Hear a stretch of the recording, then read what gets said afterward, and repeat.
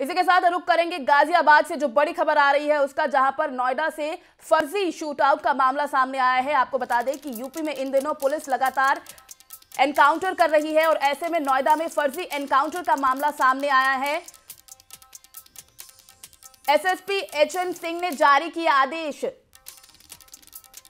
तो इसी के साथ आपको बता दें कि फर्जी शूटआउट का मामला सामने आया है नोएडा से। इसी के साथ यूपी में जो है, पुलिस प्रशासन इन दिनों सतर्क नज़र आ रहा है, अलर्ट नज़र आ रहा है। लगातार एनकाउंटर जो है, पुलिस प्रशासन की ओर से किए जा रहे हैं और कई इनामी बदमाश भी हैं जिनका एनकाउंटर किया गया है, लेकिन इसी बीच ये बड़ी खबर आ रही है कि अब नोएडा से फर्जी शूटआउट का मामला सामने आया है, फर्जी एनकाउंटर का मामला सामने आया है। और एसएसपी ने आदेश जारी किए हैं। अंडर ट्रेनी एसआई को लेकर एसएसपी ने आदेश दिए हैं क्योंकि नोएडा से फर्जी शूटआउट का मामला सामने आया है।